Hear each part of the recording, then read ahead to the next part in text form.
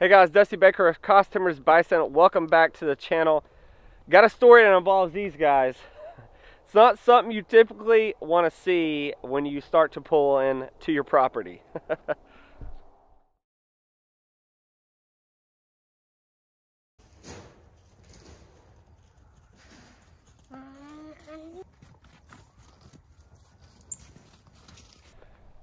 yeah, so basically, uh, I want to share a story with you guys. Good morning, Haas. Yeah, you can see it is a cold morning here. I need more clothes on. I'm a little chill right now, but basically, I want to share this little story with you guys. So my wife and I, when you pull into our property, you have to, you kind of top a hill. And when you top that hill and start coming down, you start to see our property. And uh, one of the first things that I saw was, as I saw Big Joe and his ladies in this corral, which is typically where the Dakota Pure calves are. Um, and I said, you know, oh crap. I told my wife, and uh, I said, uh oh, we got a problem. And uh, as we kept driving, I saw a gate open. And uh, my first thought was, oh crap, where are these guys? Where are the calves at? Uh, because there's no telling where they could be. And so, uh, that's just not something you definitely don't want to uh, deal with uh, when you come to your property. We came down and luckily what had happened was, Haas, you trying to bust the ice, buddy? Luckily, it wasn't as bad as we thought. But what had happened was, is uh, these guys, somehow the gate had got open. Um, and uh, these calves were out in the pasture, hanging out, um, they had switched places with Big Joe and his crew, and um, they were hanging out, living the dream. Um, and Big Joe and them were actually in here. Where when I first brought them over here, this is where they actually were, was in this corral, this big corral where these calves have been hanging out. They actually didn't even mingle together. I'm sure they did at some point, but their social status and their social class already, which has been it's been set, it's been fit since I brought them here, and obviously Big and obviously Big Joe and them have their own social uh, team, family, whatever you want to call it, and so it was actually not that bad, um, but we got them separated, and we got them back in both places. So here's how it all went down.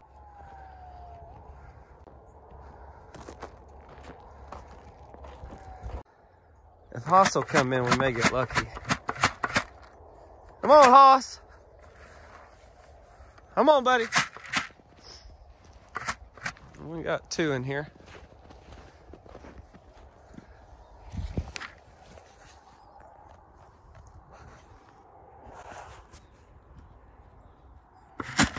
Come on, calves.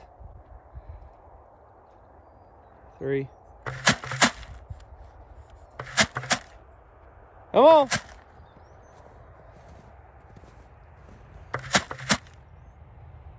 Four. Come on. Five, six.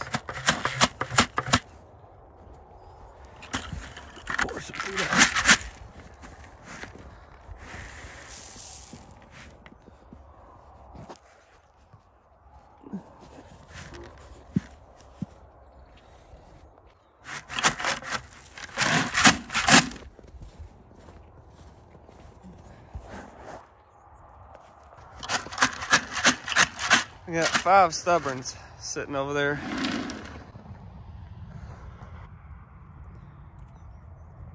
Tell you what, I'm gonna leave these guys right here. Maybe the rest will follow. Yep, here comes one. Usually that's a good sign. Okay, here they all come. Good. There they go.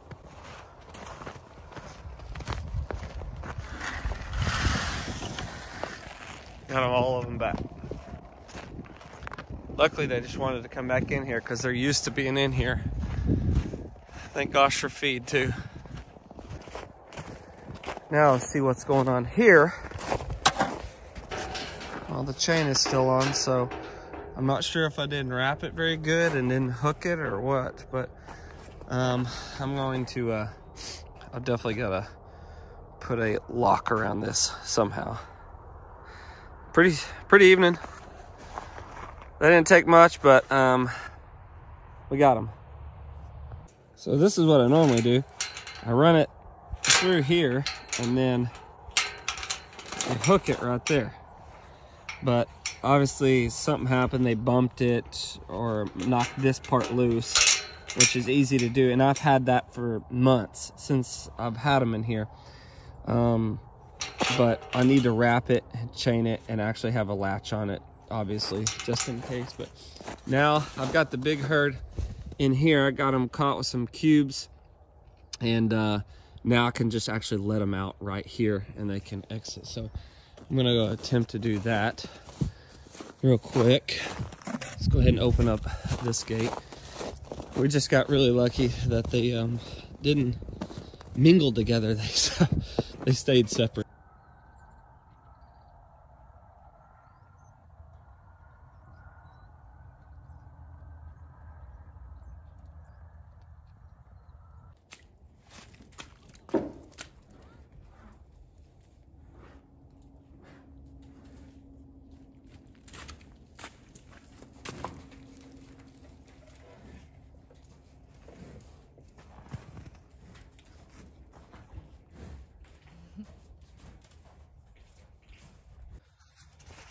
I found a chain with a latch, extra security. Should have, this is a lesson learned. Uh, this could have been a lot worse. Um, but if you're new to bison, always do this just in case. We normally do this on, on everything, but uh, basically being lazy just by doing this and not having this for extra security. So that's my fault. But now I'm gonna open this up. There's a couple of yearling heifers right here. Gonna go ahead and open this up and get them out.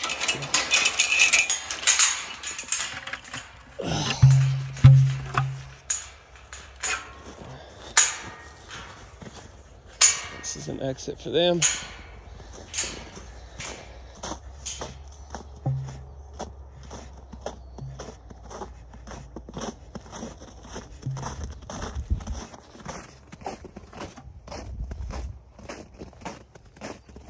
Little heifer.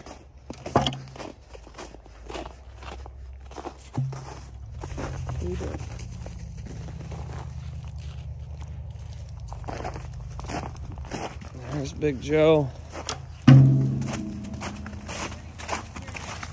Huh?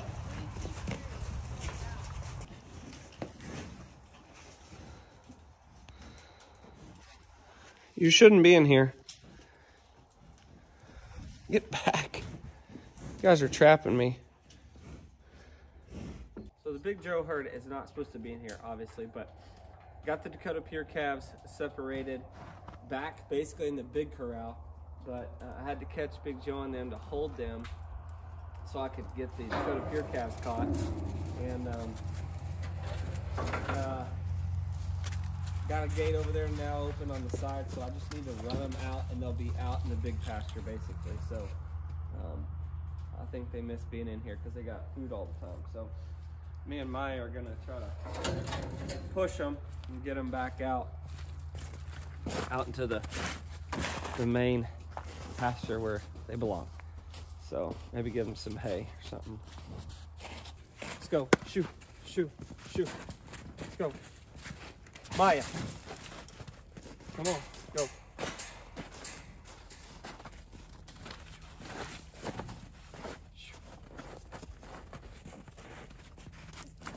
Let's go. Go. Go. Go. Go. You being testy with me? Yeah. Why are you being so testy with me. No tag. Everybody else has left you.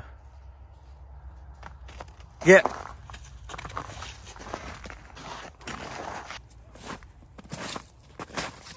Come on, Maya. Maya, let's go. Come on. Come on, Maya.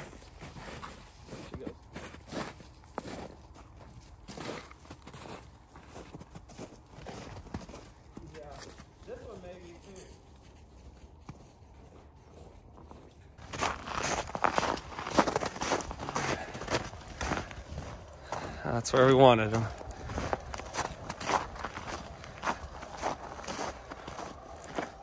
Come on, Big Joe. Get out there, big fella. Go get him. Go, go. Let's get him. Let's get him. Good. Good girl. Good girl. You did good. You didn't do much, but you did good. Okay. Thank gosh. Here we go. Big Joe herd. Back where they belong. Dakota calves. Here. oh, what a mess. What a mess. Glad uh glad we got them situated. Oh, now you want to work. I wouldn't do that. Come here. That's a smart decision. Come here. Uh-uh. Come on. All right. Come on. Come on. Come on. Come on. Gate is chained.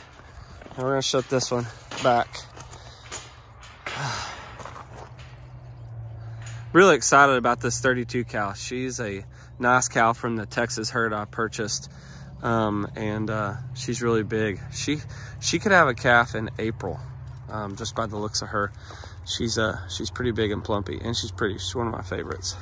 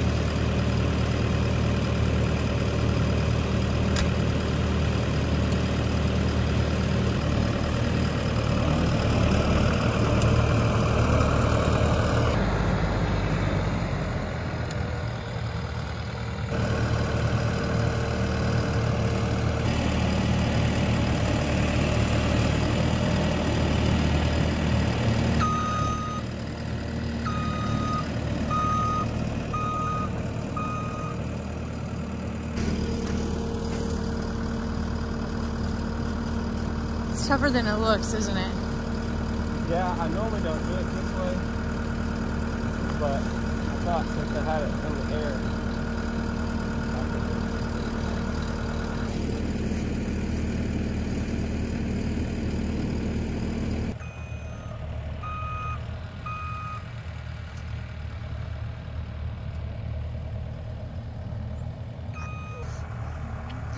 Jeez.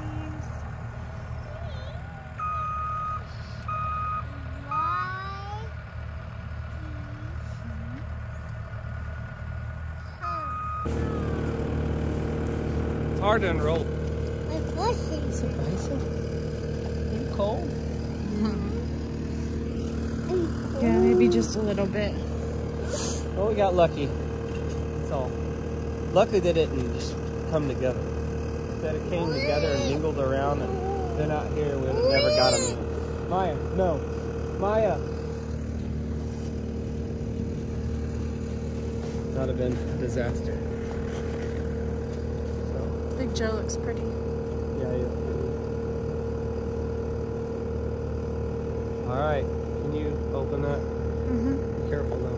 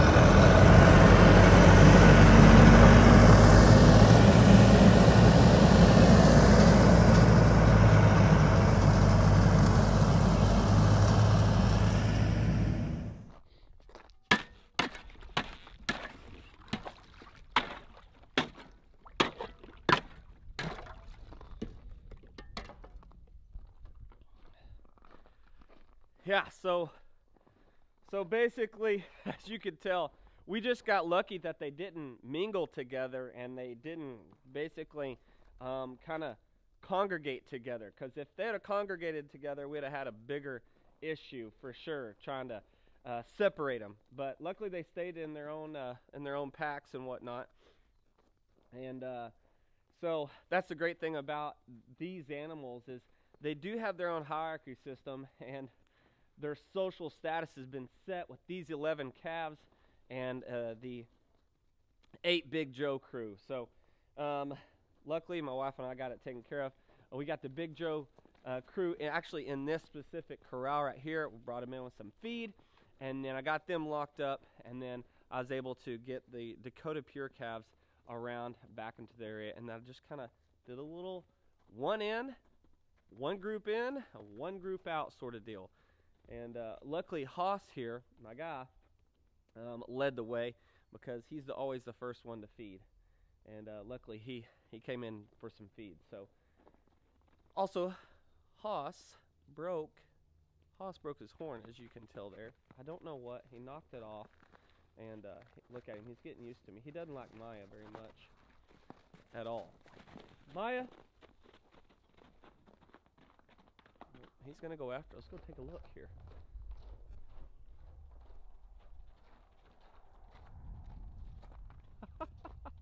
Maya? I don't think Haas likes you. I don't think he likes you at all. that's awesome. Hey, that's what he's supposed to do. Uh, I'll give him. I'll give him props for that. Oh, you better get out of here. She don't here. Okay, she'll go back over there and bug him again. Maya, he doesn't like you anyways, he broke his horn, so uh, unfortunate. I think he got it caught in the metal um, somewhere here in the pins and whatnot. Uh, they have a they have a pin right here, the one I built. I showed you it's a skid steer, and then they have a bigger pin. So we we've got them up here right now just for uh, the winter time, and then when that green grass hits, which is what we're doing right now, is we're working on fence. And you've seen some of my videos of pushing uh, the cedar and whatnot. We've got a lot of that to burn now, and so um, but we're going to start that fence hopefully pretty soon with Richard. And um, in the spring, we'll be able to rotate and get these guys out on pasture. We'll be able to get these guys out on some pasture, which is where they belong. So, um, anyways, hope you guys enjoyed the video. You know, sometimes stuff happens like that, and uh, luckily, uh, we were able to get those calves back in and get the Big Joe herd out and uh, basically switch places where they were the first time. So thank you guys for watching us, and uh, hope you guys are staying warm out there and staying safe. See you guys later.